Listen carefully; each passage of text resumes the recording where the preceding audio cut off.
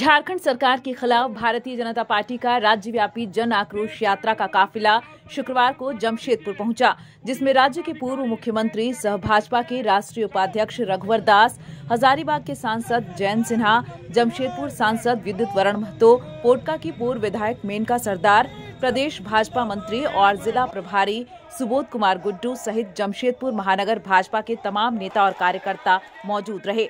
इससे पूर्व आम बगान साक्षी से एक विशाल रैली निकाली गई, जो जिला मुख्यालय पहुँच सभा में तब्दील हो गई। मंच से सभी नेताओं ने हेमंत सोरेन सरकार के खिलाफ निशाना साधा।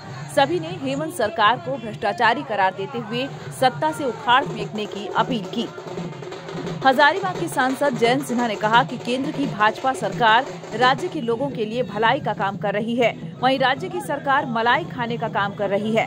राज्य के मुख्यमंत्री अपना चेहरा चमकाने में लगे हैं। सारे मलाई का हिसाब मुख्यमंत्री आवास में हो रहा है।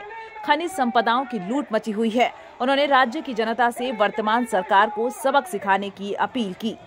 घाटियों को पार करते हुए हम लोग रांची से बढ़कर रेलवे लाइन पर हम लोग बीस हज़ार करोड़ से चार हज़ार मेगावाट का हम लोग पकड़ाते हैं थर्मल पावर प्लांट यहाँ एन एच थर्टी थ्री का जमशेदपुर में बहुत सुंदर हम लोगों ने सड़क बना दी ये भलाई का हिसाब है। केंद्र की सब योजनाएँ हैं। आज अस्सी करोड़ लोगों को मुफ़्त अनाज मिल रहा है। ये भलाई का हिसाब है। लेकिन ये जो सरकार है ये भलाई का हिसाब नहीं करती है, इस सरकार का अगर लक्ष्य है, वो सिर्फ़ एक भलाई का नहीं, मलाई का हिसाब। और मलाई का हिसाब उनका किस प्रकार है? वो पूजा सिंगल जी के घर में जब छापा लगता है, तब मलाई का हिसाब होता है। जब गिरफ्तारी होती है पंकज मिश्रा जी के तो हज़ारों करोड़ का मलाई का हिसाब होता है। और जब विधायकों की गाड़ी रोकी जाती है तो उसमें जो मलाई पाई जाती है तो आपको पता चल जाएगा कि हिसाब किस प्रकार का यहाँ हो रहा है। मुख्यमंत्री आवास हर विषय पर हर वस्तु पे मलाई का हिसाब हो रहा है चाहे वो बालू हो? चाहे वो कोला हो चाहे वो ट्रांसपोर्ट हो।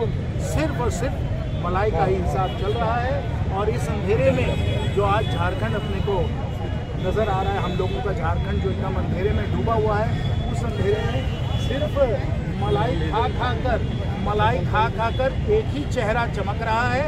हर चौराहे पे हर आप सड़क पर देखेंगे तो वो होर्डिंग सिर्फ़ हेमंत बाबू की नज़र आएगी। न्यूज़ विंग के लिए जमशेदपुर से गंगाधर पांडे की report. Tufcon XT600 HCR TMT rebar अब इंडिया बनेगा एक्स्ट्रा टफ।